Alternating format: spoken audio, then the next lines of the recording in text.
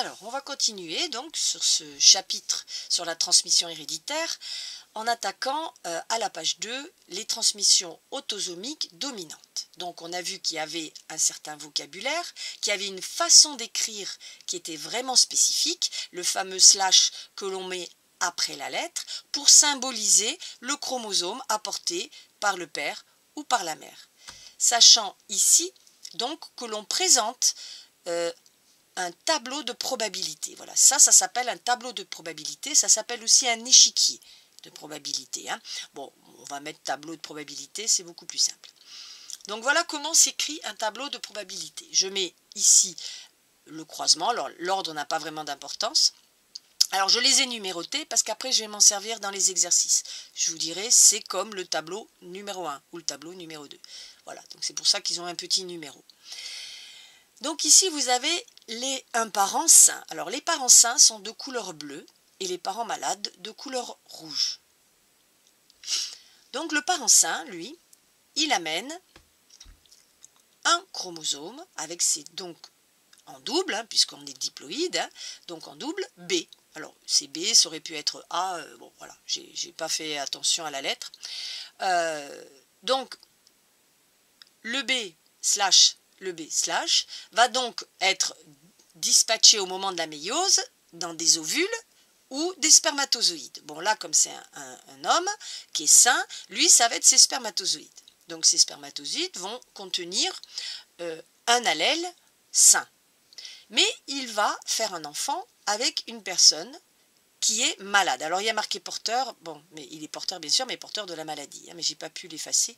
Donc ça, je le ferai une autre fois. Il faut que je l'efface sur le schéma. Donc il est malade. Point.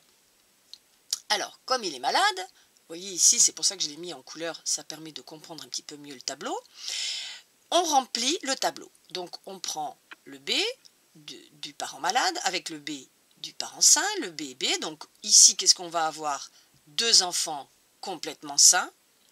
Donc 50% de chance d'avoir des enfants sains. Par contre, lui, il est dominant. Elle, euh, alors lui ou elle, hein, on ne sait pas, c'est vrai que j'ai pas mis les sexes ici, puisque effectivement ce sont des maladies, attention, autosomiques, vous vous rappelez du début du cours, autosomique, c'est ici. Hein. Autosomique, c'est quand l'allèle n'est pas sur un chromosome sexuel. À la fin du cours, on verra euh, des maladies gonosomiques. Mais là, on fait que des maladies autosomiques, c'est-à-dire que c'est pour ça que j'ai pas mis euh, de petites jupes ici. Donc, on ne sait pas si c'est la, le euh, mère ou le père qui se mélange. Ça n'a aucune importance. Ce qui est important, c'est est-ce que celui qui est malade, eh bien, soit il a MB, soit il a MM. C'est pour ça que je vous ai mis ici variante.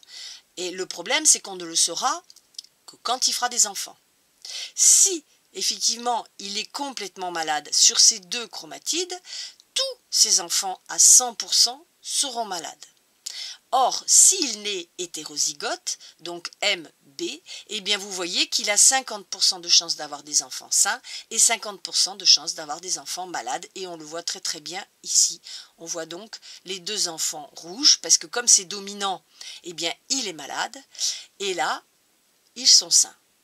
Donc on pourrait faire exactement la même chose, ça je l'aurais fait au tableau, en faisant malade, malade et sain, sain. Mais à ce moment-là, on aurait eu ici, vous pouvez le faire au crayon, euh, sur un papier, on aurait eu donc 100% de MB. Et les MB ben, sont tous malades puisque le M est écrit en majuscule, il est dominant.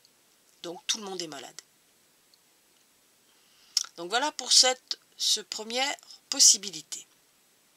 Maintenant, deuxième possibilité, le croisement se fait entre deux personnes malades.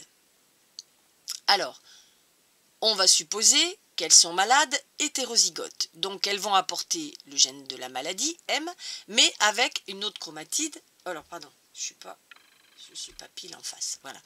Euh, donc on va donc prendre des parents hétérozygotes. D'accord? Donc quand ils sont malades, on ne sait pas au début s'ils sont malades MM ou s'ils sont malades MA. Donc on, attend de voir les enfants. Les enfants ont donc la possibilité un quart de probabilité, donc sur 4 quarts, hein, donc 25% si vous préférez. 25%, le, malade, un des enfants sera MM. On aura ici en biais la case d'ici et la case d'ici, ça va faire du 50% d'avoir des enfants malades mais hétérozygotes. Et 25% de chance d'avoir un enfant complètement sain, c'est celui-là en bleu, ici, il sera complètement sain. Alors bien sûr, il y a d'autres variantes. Il y a la variante où un des deux est MM ou carrément, je ne l'ai pas mis, mais MM ici et MM ici. Donc bien sûr, 100% des, enfants seront complètement malades. Et puis euh, bien malades, hein, puisque les deux chromatides euh, seront identiques, donc ils le transmettront aussi aux enfants. Donc si vous voulez, vous pouvez faire à la maison le tableau MM croisé avec MA. Euh, donc ben, vous aurez que des malades, puisque de toute façon, euh, il y aura des, malades hétérozygotes et des malades homozygotes. Donc faites-le en exercice.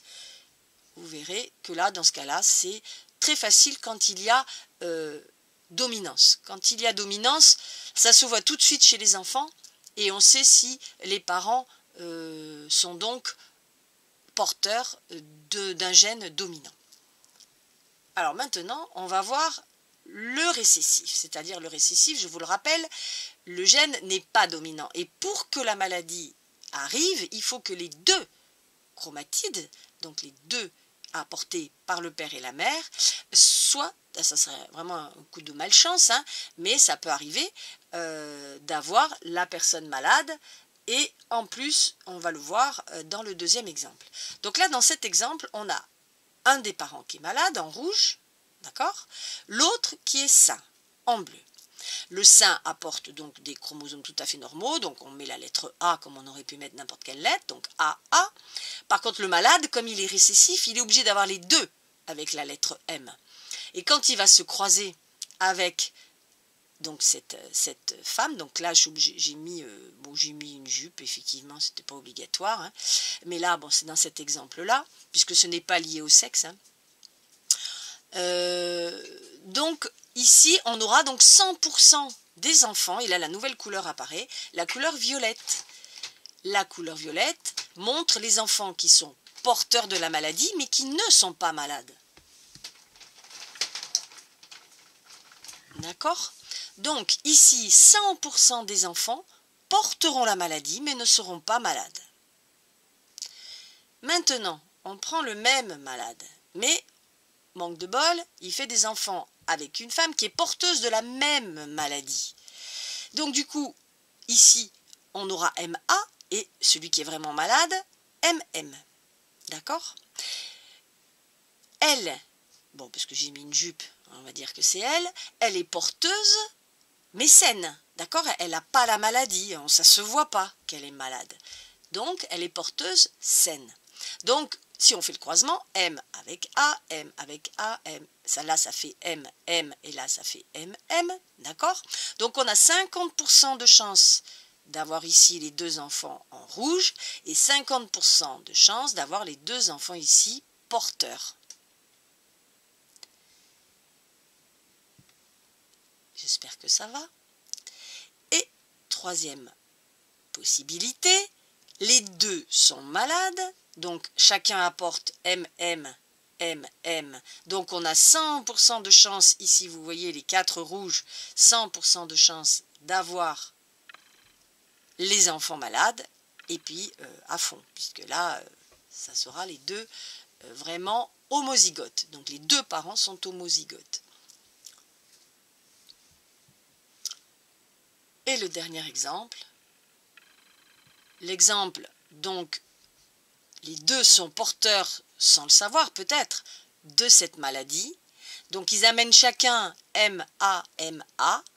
Et donc quand ils vont se croiser, ben, on aura 25% de chance d'avoir l'enfant malade.